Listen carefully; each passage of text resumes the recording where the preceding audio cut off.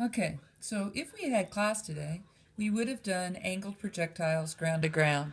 I had asked you to do for Wednesday night's homework a few more horizontal ones. So in the front side of your sheet, I had asked you to do 2, 4, 5, and 8, and the answers are there. So on Tuesday, if you have issues, we can go back and look at those. But right now, I'd like to spend a couple minutes just talking to you about angled projectiles because the ground to ground or the um, horizontal ones are really pretty easy. For angled projectiles, there are two different categories. One is called ground to ground, and the other will be creatively called non ground to ground. So for today, ground to ground. And what that means is whatever, it doesn't necessarily mean it's actually leaving from the ground, but wherever it leaves from, whatever height, maybe I throw it from shoulder height and someone else catches it from that same shoulder height. So it goes up and it comes back down to the same height that it left from. Okay? So it could be a soccer ball being kicked, it could be a baseball being thrown and caught. It's given some VI at some angle theta. That means it has a VIX and a VIY this time. So not like the horizontal ones where VIY was zero. Now VI y will have a value. Asking you to find the delta dy won't make sense because it'll just be zero. It comes back to where it started. Um, instead, what we will ask you will be to find the maximum height reached, the delta dy max. And this is a project uh, uh, parabola, okay? And so its trajectory is symmetrical. When it hits the vertex from math, the highest point, you know that the second side is perfectly identical to the first side. The time it takes to get to the vertex, we will call delta TU, time it's taken to go up. And 2 delta TU will give us our total time. I call it TU and not half time because when we get to the non-ground to ground, it'll still be time taken to go up, but it won't be half the full time. Okay? We also know that when it reaches the vertex, the Vy at that point will be zero. It will slow down in the y direction until it stops at the highest point, and then it'll begin to speed up. Okay? So we're going to treat it, do, uh, treat it exactly like we did with horizontal. We're going to break them up into their x and y components. So in the x direction, we'll have VIX is equal to VI. It's the adjacent side, so it will be cos theta, whereas VIY will be VI sine theta. VIY will be going up. That's going to cause an issue that we didn't have to worry about last time because AY will still be 9.81 meters per second squared down. So it means now we're going to have to worry about putting our negatives in.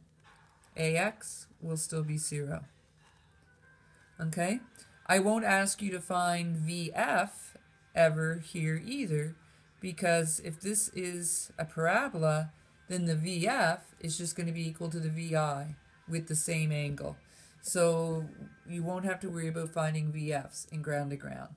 So if we were to do an example here, let's say I do VI is 30 meters per second at an angle of 36.87 degrees. So you're kicking like a soccer ball or a football.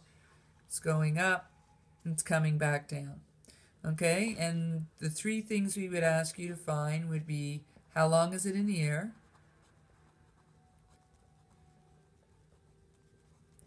How high did it go, or maximum height reached? And how far away did it land?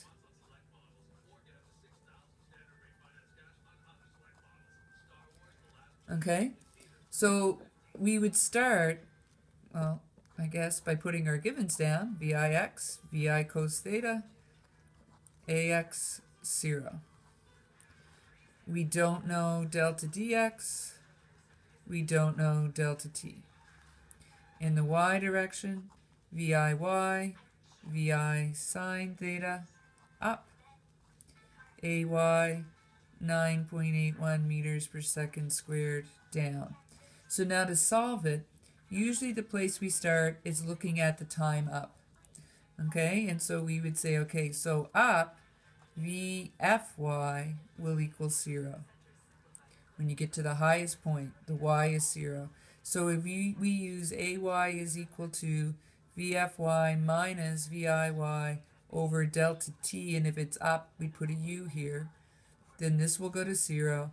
Rearranging, we would have delta TU is equal to minus VIY over AY. In other words, minus VIY, which is VI sine theta over AY. So in this case, 30 meters per second, oops, running off the paper, sine of 36.87 over negative 9.81 meters per second squared. So there's a negative on the top from the subtracting sign, a negative on the bottom from gravity going down. And so when we do the math, 30 times 0.6 divided by 9.81 gives you 1.835.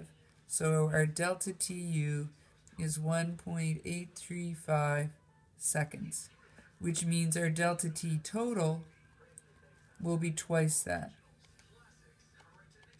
So it'll be 3.6697. I rounded that 5 a little. Okay, that's part A.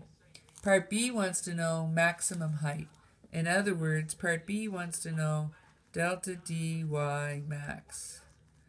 And we know that's going to be equal to VIY delta t 1 half AY delta t squared. But what delta t do we use? We want the maximum height, which occurs right here at the halfway point. So this delta t has to be tu. Okay? If you forget and put the full time in, then you'll end up getting zero, because at the full time, the height it's at is back at the ground. So if you ever get zero when you're solving for delta dy max, it's because you've forgotten you use the full time. So back down here, we have delta dy max will equal VIY, 30 meters per second, sine of 36.87. And then the half time was 1.835 seconds, plus 1 half negative 9.81 meters per second squared, 1.835 seconds squared. Now the cool thing is, when you do this, the first term will be exactly half the second term. So when you do that first term times 30 times 0.6, you get, hmm, I think you get 33.028 meters. And then when you do minus the second term, so 0.5 times 9.81 times the time squared, you get 16.514 meters. So if you don't round your time too much, you end up with one half of your first term because the second term will be half. So it'll just be a little check for you. You're like, oh, look, I got half, so it must be right. Last question asks, what is the range, delta dx? So it'll be VIX delta t 1 half ax delta t squared. The ax term still goes to 0. This time I want the range. And so because it's the range, it's the full distance. So I'm going to use my full time here. I'm going to use this guy. And so it just becomes vi cos theta delta t. In other words, 30 meters per second cos of 36.87 times 3.6697 seconds. Okay, and then you just punch it in and you get your range. All right, so on the there's another example on the note sheet that I gave you, so take a look at that. And then homework on the back of your question sheet, how about numbers 1 to 4 on angled projectiles? Okay, and we'll go over them on Tuesday. All right, have a great long weekend. You have your little half sheet to do, you have your lab to work on, and these four questions. Okay? Enjoy.